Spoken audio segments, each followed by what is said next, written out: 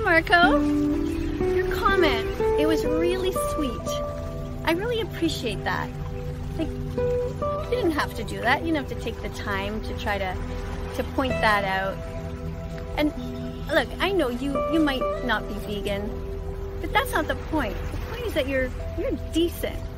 Like, you're a decent human being who listens, who watches. I would love it if I could get to know you a bit better. I don't know if you're a 10 year old kid or 80. And if you would like film yourself and hold up a sign in a duet maybe, just hold up a sign and say, I'm decent because. And just let me know. Anyways, I just really wanted to touch base with you and let you know that I really appreciated it. Thank you.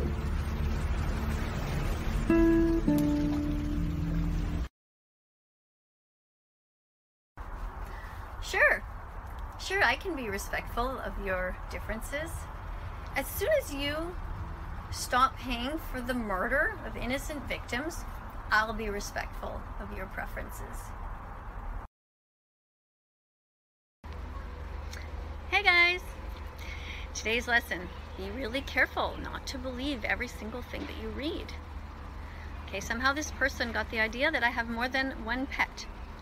Any of my regular followers know that I have one dog that lives with me. Her name is Bella. Today, I filmed a cat, a black cat, outside while on a walk. That was not my cat, so don't assume anything. Always check, just ask. Second point today.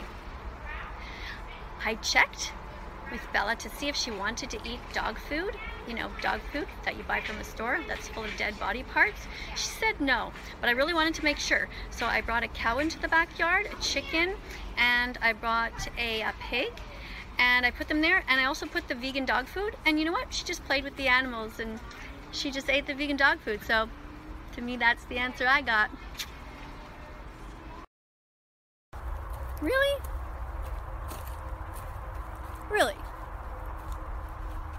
Okay, think about it for a second and just think, does it make sense? Now replace the word cat with human. Okay, think about that. What if somebody told you that black humans are bad luck? Would you believe them? Listen, kids, you need to start thinking for yourselves, okay? Do not believe things that other people tell you. Even adults are wrong often. You know, there's adults in society who are quite prejudiced. They don't know.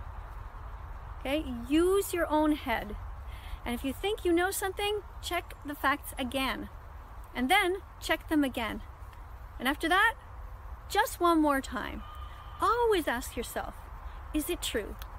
And is it really true?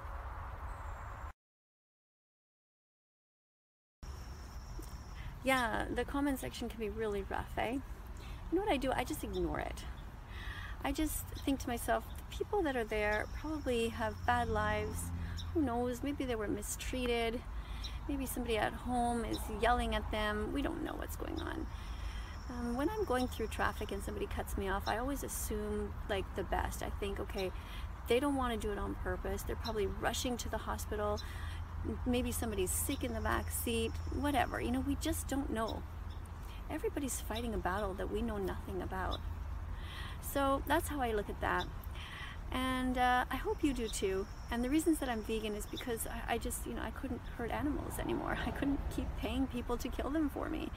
I, I watched all the documentaries. I went to a website called egg-truth.com and um, that's it. I had to be vegan.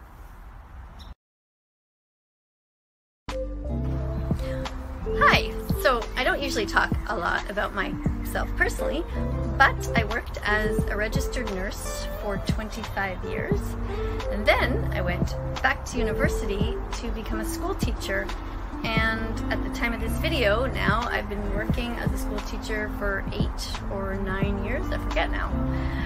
So that's what I do. I am 55 years old at the time of this video. And today is my four year vegan anniversary. I have been vegan exactly four years. I became vegan on June 27th in 2016. So I'm feeling good. I am so happy about the decision and I hope that you become vegan too.